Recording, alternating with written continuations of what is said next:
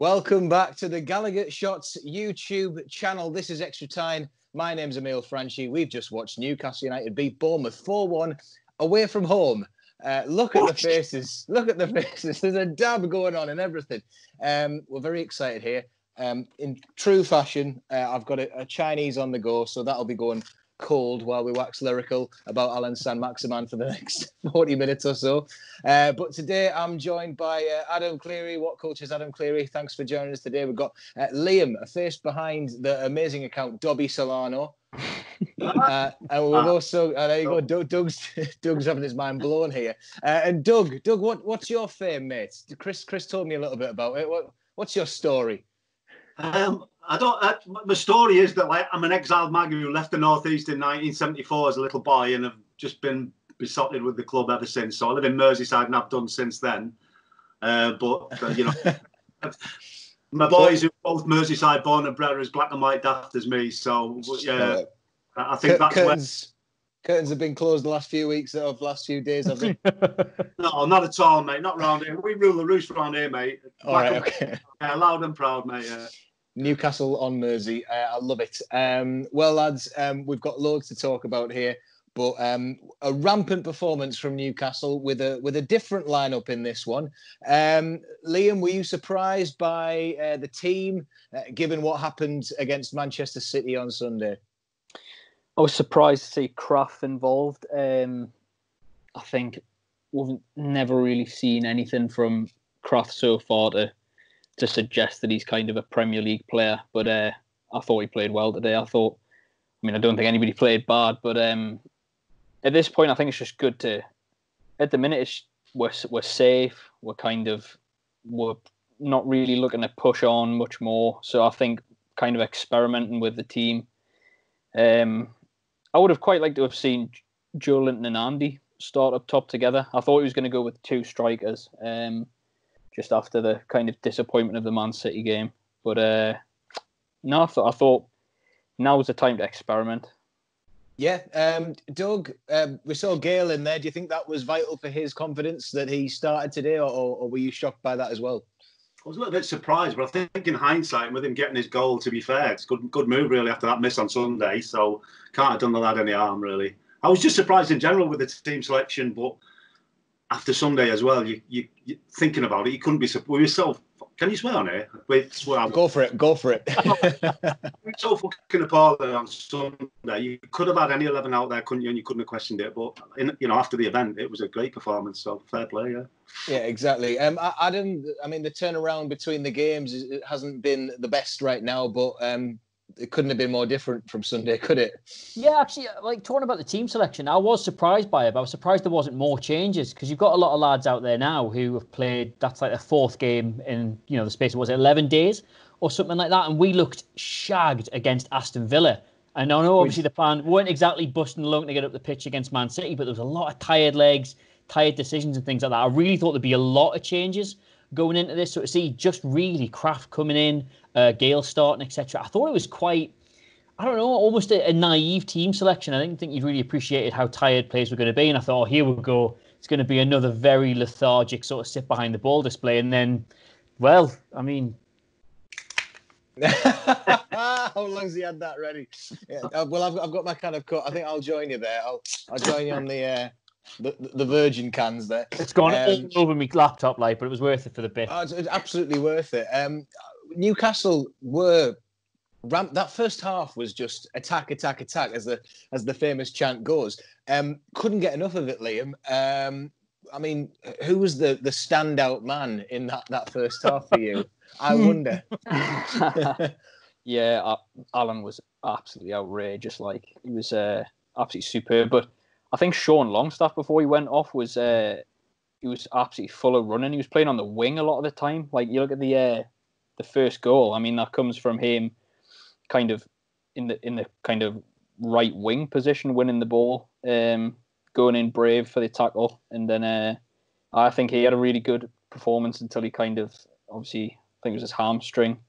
He had to come off with that, but I, I genuinely don't think anybody played bad in the first half or the second.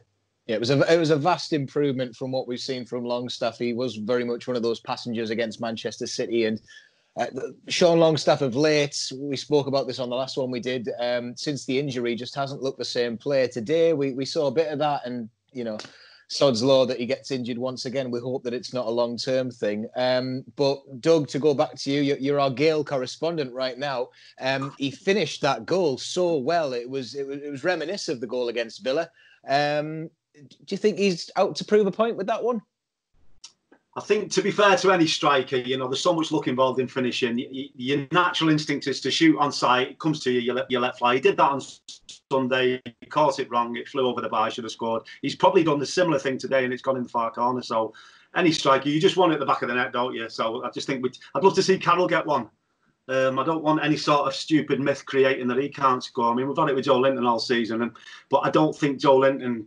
You know, I've, I've been as patient as I can with him. I want to stay patient with him. I'm not one for getting on the players' backs, but he's just not a natural goal scorer. I think we all realise that now, don't we? Sort of seven, eight months in, he's just not. Uh, but having said that, I don't think he's a natural wide player. I don't really know what what his role is. Don't want to be negative after a 4 0 victory, but uh, but Gayle, you know, Gayle is an, an out and out striker. That's his job to put it in the net. So fair play to him. He took that in lovely. Just it was very reminiscent of the Villa goal, wasn't it? The way he found the far corner. Yeah, he's kind of got that difficult angle, took it first time and um, put it straight through him, and, and, that just set the precedent for the match. Um, Adam, just on Joelinton there, um, what, what what did you think of having him out on the wing? Do you, do you, think this is the, the position that we need to keep him in, or?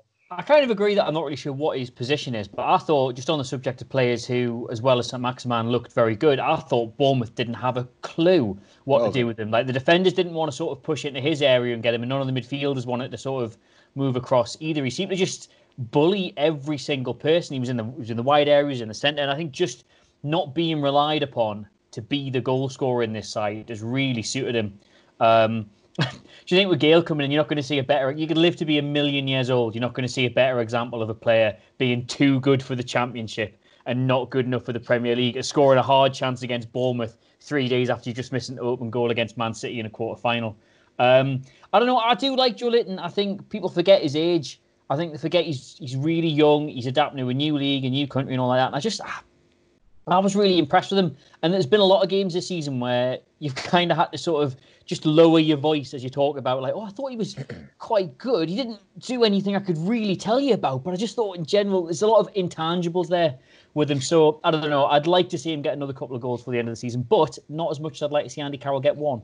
I think it's definitely a case of no one expects the Joelinton Inquisition every time you uh, question his performance. There's a lot of talk, uh, you know, d- not not saying that you're you're on this bandwagon uh, there, Doug, but I feel like Joelinton has kind of had that this season where some people want to say, you know, he's done well there, but is he has he scored three goals? I guess it, it's such a difficult one for him. But um, focusing again on on the um, the player that we've signed as well, Saint Maximin.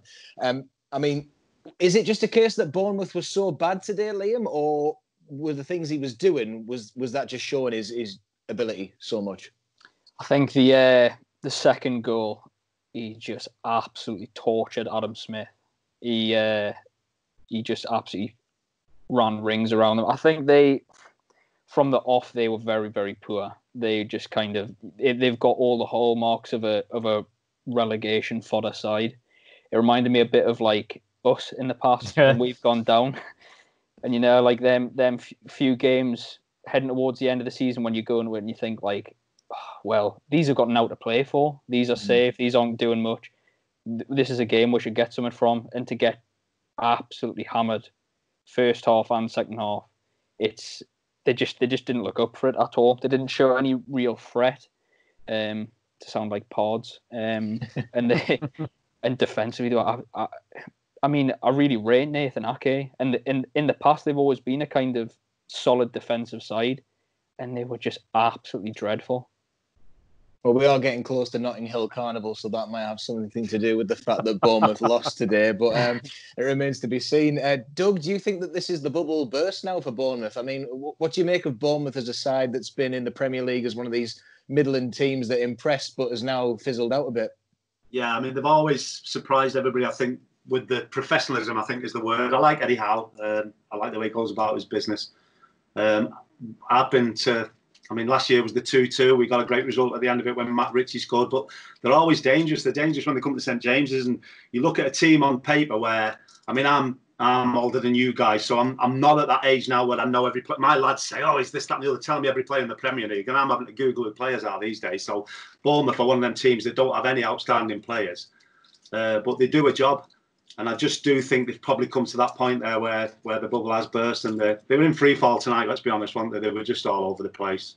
And as, as I think it was Liam just said then, it was so reminiscent of, of us guys watching our lot um, in recent years when there's just no uh, there's no coordination. There's no leadership on the pitch. It was just they were all over the place, weren't they? To be fair, but you know that don't take away from St Maxim. He's just an absolute joy to watch, isn't he? And him on one side and Miggy on the other. Uh, to me, the the sort of light in the in our tunnel at the minute, they're just very uh, refreshing two lads. Yeah, it, I mean, it, I would say that it was it was similar to when we sent Fulham packing on that final day of the season. We were just rampant against a team that had no chance at all and, and didn't look like wanting to be there. Um, we'll mention um, we've mentioned Sean Longstaff's goal. I think it was pretty well taken, but not many come close to how well uh, Miguel Almiron uh, took his goal. Adam, um, is that just a, a, nice? not an end to the season, but a, a, nice finish for him, given the the critics that he's had. Yeah, the Almiron goal was a weird one because it's it was reminiscent of the kind of goals we tend to concede when we're not playing particularly well. Not necessarily this side or possibly even Rafa's side.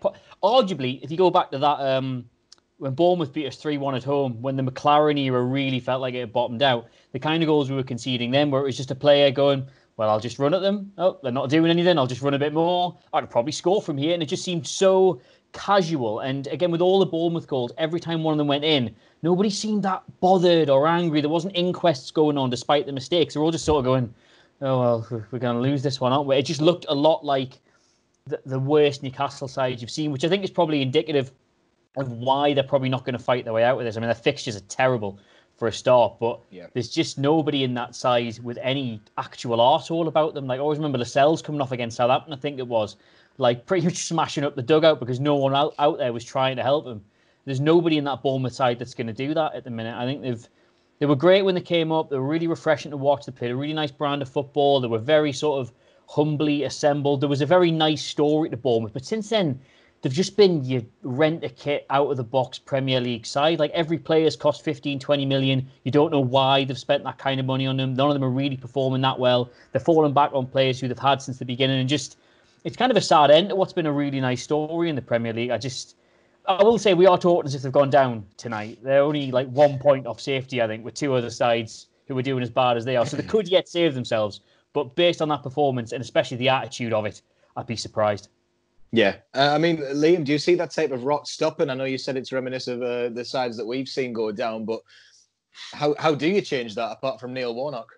it's just been snapped up by Boro. yeah, they'll be kicking themselves. Um, I think coming into the game, the fact that you look at probably their kind of outstanding player. You you probably got Callum Wilson. I mean, he's not been great this season, but past few seasons he's out on di- on disciplinary points. He's out because he's picked up too many yellow cards as a striker, and that's just bizarre. And it, it, this kind of run in at the end of the season for your striker to be missing for two games because he's picked up too many yellows. Um, you look at just, it's just yeah, it is just a total rot for them. I mean, the first goal, uh, you're just absolutely sick if you give that away. Mm-hmm. If you're in a relegation fight and you give that first goal away because you you're pissing about at the back, you can't make a simple five yard pass out. Um, I nah, I think this is, I think this is it for them now. Um, a lot of Bournemouth fans are getting on kind of Eddie Howe's back now, saying if it, if it, if he wasn't Eddie Howe, he'd been sacked like four times already. I mean, that is a this is a terrible result, and you would think if this was any other manager, they would probably get sacked after after conceding four goals to Newcastle.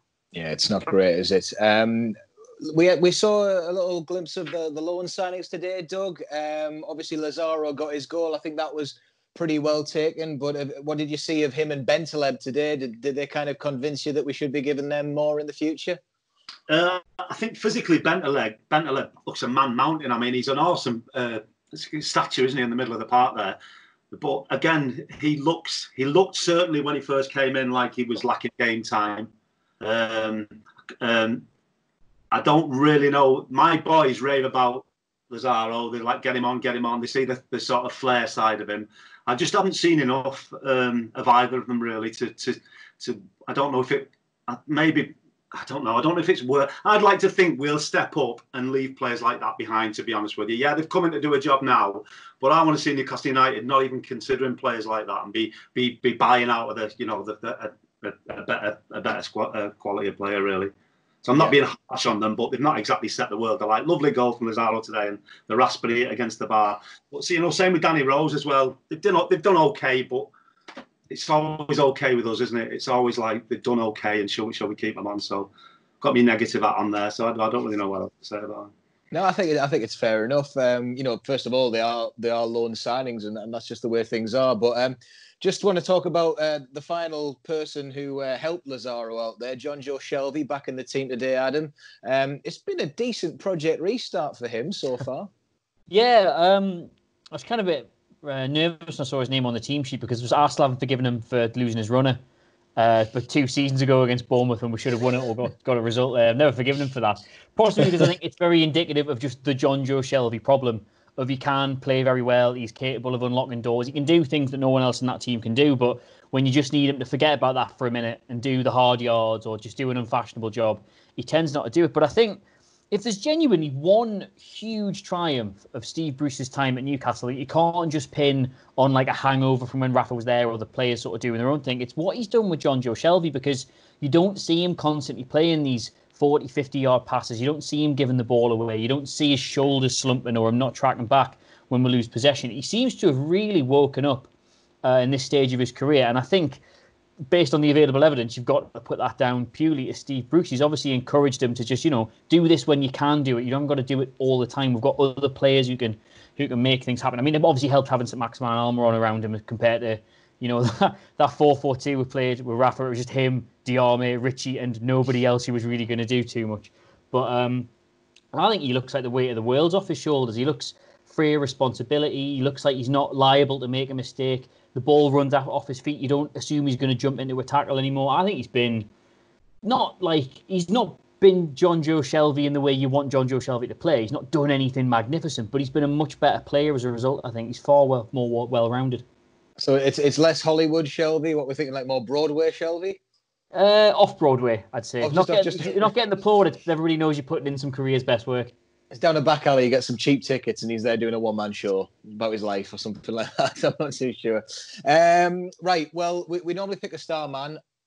I think on this one, we're all in agreement that it, it has to be Saint-Maximin. So, um, what was his best moment in this game, Liam?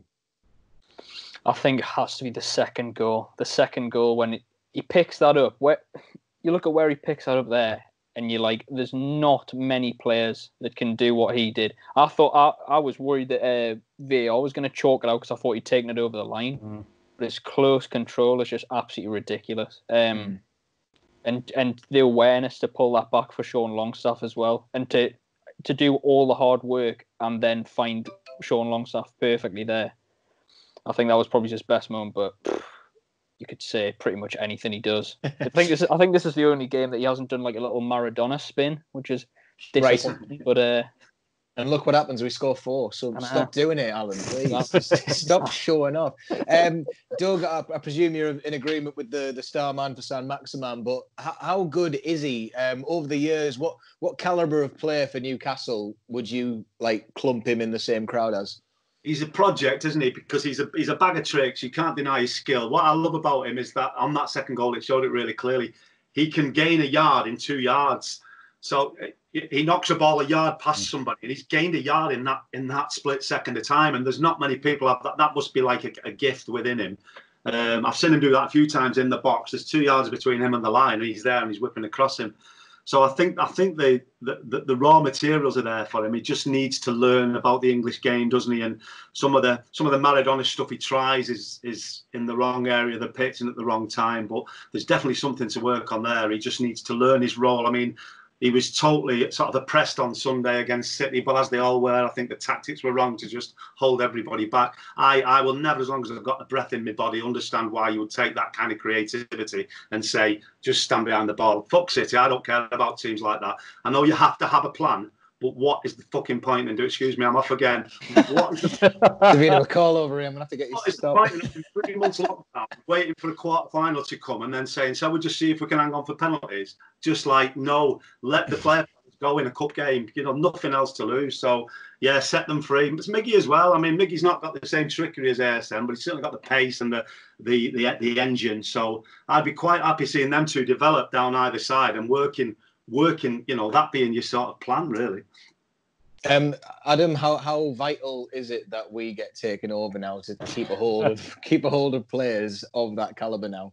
Uh, you'd like to hope, because I think one of the main things about St. Maximin is he appears to get it. Like, he seems to really bought into the idea of the club and what it means around here, and all the cliched stuff that we get made fun of uh, by other teams. He really seems to have bought into a lot of that. Like, you, I mean, I've got him on, I've got him on Instagram, and all his kids have got Newcastle kits on all the time. He seems to like understand it fully. So you'd hope, even without a takeover, there's at least another season, possibly two in him.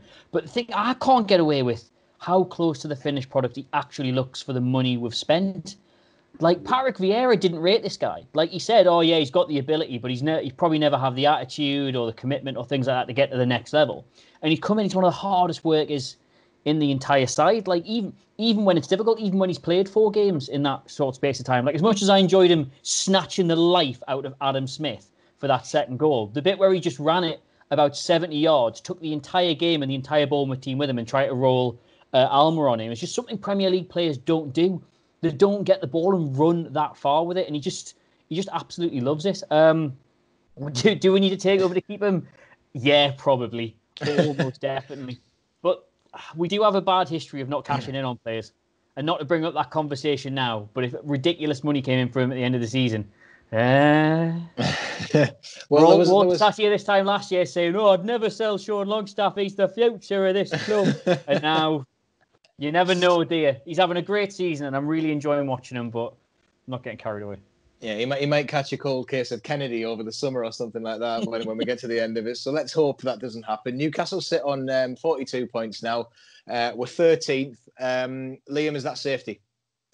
Yeah, you'd have to say so. You got to got to bear in mind that a lot of the uh, a lot of the bottom teams have got to play each other as well.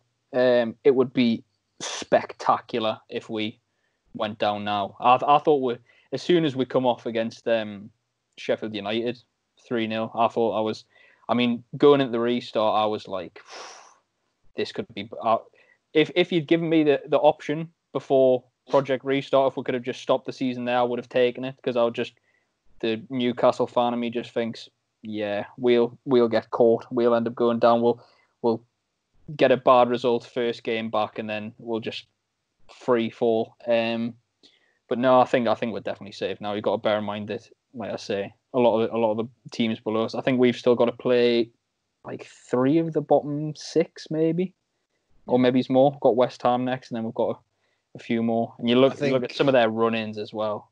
Yeah, I think West Ham and Brighton are in there, but um, I did say that it's going to be in the first five games that we get the points we need because we've got the the horrid games of Liverpool, albeit end of the season. Tottenham are in there uh, that we still have to play, so it's it's going to be it's going to be weird. But then again, Newcastle towards the end of the season seem to have this resurgence. Is this the best performance we've seen all season, uh, Doug? I I want you to just forget the City game for a second, just and just and just focus on the league.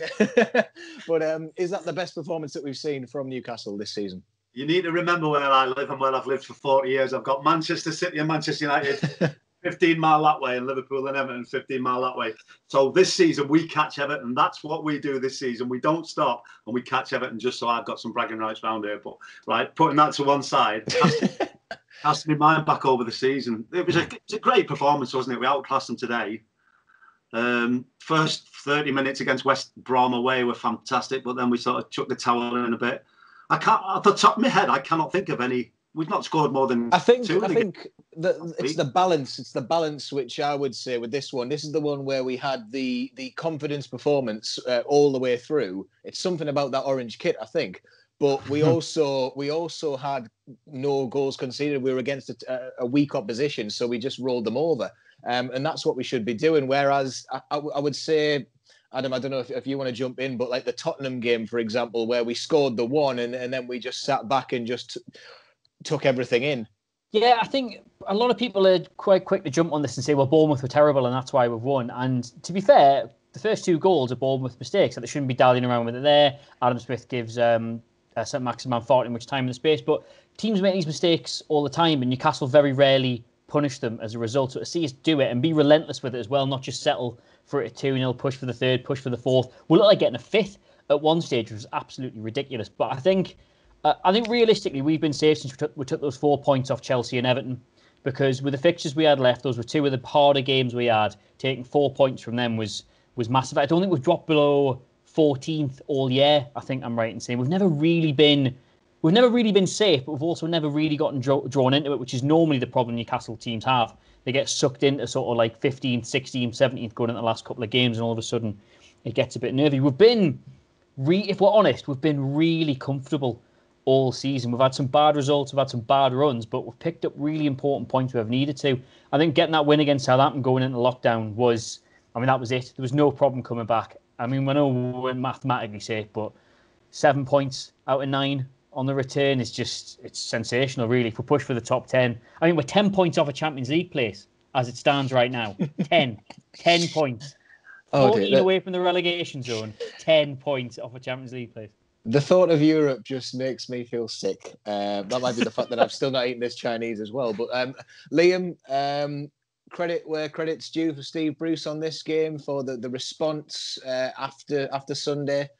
You've got to like. Uh, there's there's been a few times this season where we've been on the end of a hiding, and I've thought this this is like where we go. This is where we go down because under Rafa, you kind of you were never really beaten well in a game. You never really got thrashed in a game. And there's been a couple of times this season where we have. I mean, you look at like five 0 Leicester, four 0 Arsenal, but you look at those games and you, you when when we got beat five 0 off Leicester, it's like, oh well, now we're just gonna go on a horrendous run. We're gonna get tonked every week. But in all of those games, we've kind of responded, and even probably is one of our most disappointing performances against City. I mean, I know it's Man City, but it was a disappointing performance. Um, and to come off the back of that with the confidence that we've kind of shown, it's just you've you've got to give them credit, man. Um, I mean, my my point at the minute is, I think we're three points off Rafa's best uh, to finish. As much as Rafa Facts would hate it, you know. um, and what I was thinking about more so was the goal difference side of things, because a lot of times under Rafa we were kind of, if we set up defensively in a game, it was because we wanted to maintain a good goal difference, and he was always we were always kind of praised on our goal difference coming in the end of the season, and I think we're about minus ten maybe, and I think the best the best we managed under Rafa was like minus six, so you've got to give him credit. Like I, n- none of us expected to be safe at this point in the season. I don't think, um, and some of the, some of the wins that we've picked up, which nobody would have expected either. Um, yeah, you've got to give him credit. Yeah. Um, Doug, I, I know that we're saying this was a fantastic performance today, but if you had to choose an area to strengthen now based on, on that performance, where where would you still look? Uh, personally, I always look at right back. I never think we've got the right back situation sorted for. I can't. I can't remember how long. Uh, people are praising Manquillo. He has done well, but he's still prone to mistakes all the time. Yedlin comes in. He's fast, but his positional sense is rubbish. I think Krafth's just not not at that level. Um, I'd love to see a really strong. I'm just trying to think back over the many years. I'm thinking of Irving Nattrass in 1972 to 1978. Um, you know, somebody just flying down that wing, and but but but also with the capability of getting back there. Help me out here, lads. Think of a good right back. Warren Barton, maybe. That's New- always been a position we haven't really. Haven't yeah, I know. I don't think know. I- I'd say John Brownlie, but I'm slightly biased. John Brownlie. His birthday's on the same day as mine. him, 11th of March. Interesting. Useless fact. it's it's weird with defenders in Newcastle United that it doesn't seem to be until this year and, and recent years where we've had a, a solid defence. But um, I know we've mentioned it on, on a couple of the other extra times that we've done. But um, do you think the presence of Lascelles is, is massive there at the minute, Adam? I think Lascelles has quietly become one of the most important players. I know there was a time last season, maybe in a bit the season before that, we looked at the depth we had at that back in the in the back line and we thought Schär, Schär looks fantastic. Fernandez looks really good when he comes in. Lejeune looks on a different level. And Lascelles kind of felt like he was getting left behind a bit, maybe only getting in the team because he had that armband. I think especially since we've come back, he looks really, really at it. And I think with Schär sort of showing a few liabilities in his game, Lejeune struggling to stay fit, he's become so important to the stability we've got at the minute. There was a couple of times today where he was just having a bit of fun with the fact we're 3 0 up and pushing forward. But as soon as we lost the ball, he was back in like that. Like he was so fast. I've also just realised that I could have said uh, Holly Bald for Joe Shelvey's more modest acting career, and I'm oh. furious I've already come up with that now. But Holly Bald, yeah, I don't know. Well, both way, both works. Uh, what am I going to go for? Um, yeah. Uh, to summarise, Jamal Lascelles, good. Yep. Yeah. yeah, well, I'm coming back for a better one shortly. Uh, uh, Liam, uh, we've got West Ham next. Um, they're currently playing Chelsea, and, and they're they're actually one one at the minute. Um, but um, what do you think for that game? Do you, do you, think it's going to be a game where we see even more rotation? Yeah, um, I, like I say, I think I think for for the last few games, it's there's no harm in experiment with the team. To be honest, like I say, I would quite like to see jo- uh, Joelinton and Andy starting up top together. I think the it's the kind of the shackles are off um, at the minute. I mean, there's no there's no fear now. Um, I think I think it'll probably be a tougher game against West Ham. Um, I think they I think Bournemouth have kind of resided the fact that they're probably going to go down now. Um, but I would oh I would absolutely love to beat them. I'd love to beat them. Um, it's Keegan happening there in the press conference. if you watch, if you watch closely, he's growing grey hair. I know. I would. I would. Uh, I, I would have given Bournemouth the points today if it meant sending West Ham down with that stadium. It'd have been absolutely great. so what? Andy, Andy Carroll, Andy Carroll signed and not scored for thirty games, and West Ham are up next. Is it? Oh, oh. Tell you what. Tell you what. Um, I, think we should obviously just pay respects to, to everyone affected by the, the scenes of Andy Carroll's facial hair being uh, gone now. Uh, yeah, um, the the source of his strength. We hope it's not the case of uh, Samson. But um, uh, you know, I like I like to do these questions. Doug, um, pubs starting to reopen. You walk in, you see Saint-Maximin at the bar. What are you buying him? Uh, what would he have ASM? I don't. He'd probably have some really weird concoction money that he'd made up himself and probably drink it in a really strange way, spinning it on his hand and stuff. But yeah, I'd buy him anything. He's a, he's a dreamer. He's absolute. He's a, he's a, he's a massive positive in in uh, in a, I can't say a team full of negatives. He's a big plus in the team at the moment. So fair play to him. But I just can I just ask you lads, well, because we touched just just touched on the West Ham thing there. How are you lads? sorry, Emil, if I've jumped a question. No, crack on, please, please go in. Please. I I am finding a real struggle to even not be interested in the game, watching it from home, but I'm I can analyse it the way I sort of analyse match of the day or other live games. I'm, I'm missing that um, attending side of it and the whole hullabaloo of the match and the passion before and the. To, to, it, it, I'm watching Newcastle United and I'm and I'm analysing it and watching them and saying that's good, that's good, and that's good, and I'm celebrating when we score, but it's just not it's just not what it's all about is it for, for me i miss diving on like the nearest person and yeah. and like you know like you know do that kind of thing there is something wonderful um, being at St James's Park when you've not spoken to the guy behind you for the entire game. He said something that's riled you up because he's he's made a comment about Joelinton's first pass, um, which happened to be the kickoff. Um, and, and you know, and then by the end of it, you're hugging, you're going around to his for tea, um, you're invited to his daughter's wedding. It, it's just a wonderful experience, I think. And uh, to be honest, I think it's a release that a lot of people need right now. I think being in the house and celebrating football just hasn't got that same feeling. No, sorry, I digressed a bit there, but yeah. Just no, no. Did anyone else have any uh, match day experience? I think it's. I think it's made me realise that it wasn't so much football I was missing; it's other people and going to the pub. Because oh. I was, oh yes, football's back. That's going to feel a little bit normal, but it hasn't felt normal at all. Like having a World Cup schedule for the Premier League, where you, you know, predominantly got to sit there on your own and watch it. And if you forget to flip it onto the uh, the channel with the sound, it's just like watching CCTV of a of a training ground game. It's absolutely it's bizarre, but again, you're not going to grumble because obviously a lot of work's gone into this, and I think we're all very appreciative that it's come back. So a, a, a net positive, but it is weird. In, even in the context of these weird times, football is weird at the minute. Yeah, it certainly is. Um, Liam, have, have you got anything to add just about missing people?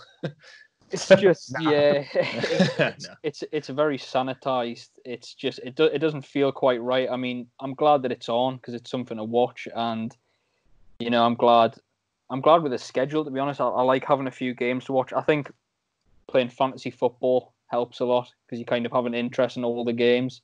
That's helped me quite a lot through it, but uh, it, it's it's just not the same. Like it's not the same as as going to the match, then coming home, then watching the highlights when you get home, and then watching match of the day, and then watching the highlights the next day. It's uh, nah, it's it's.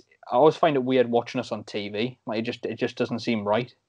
But um, nah, it's not the same. It's definitely not the same. Back to the 3 p.m. blackout, he says, for all games. Just keep them all in one, Ah. one time, one day, nothing different. A purist is, Liam. Um, but I, I, I must say, I mean, I said this after Sheffield United, that, that feeling of winning lasts. Um, the, the, the days after Man City, I was dreading because Twitter was just a cesspit of people, um, you know, tagging Richard Masters, Masters in posts saying, please, please look at my, my, my takeover um, and just hoping that he might do something. Adam, my, my thoughts exactly. Um, and, and lo and behold, nothing's happened yet, but it might. It might happen. Who knows?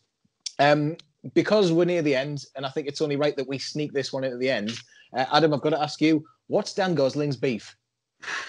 Oh man, like the guy came to us as like that was it looked like one of the best free transfer transfers in football history. This was like the future of the Everton midfield. It was their Gerrard or something like that. Then he just left and we snapped him up. I haven't known he just got promoted. He was gonna be he was gonna be what we thought Cabaye ended up being in the end. He, I think his only contribution for us was scoring a consolation goal against Man City when we were about 17 0 down and uh, getting sent off against Norwich. And that was it. I think people people forget he was around in that season. We finished fifth and got like ten games or something.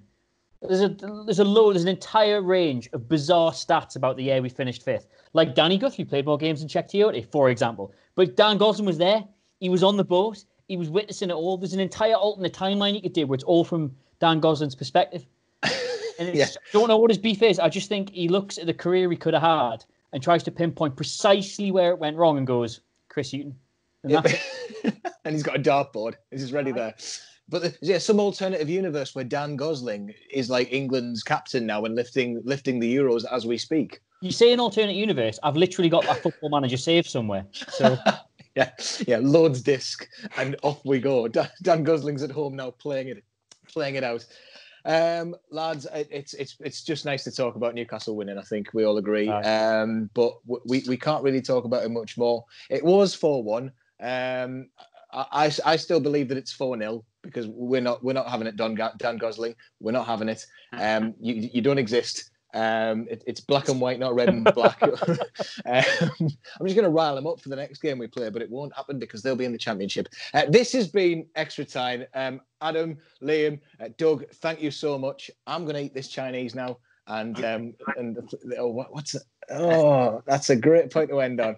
Good night.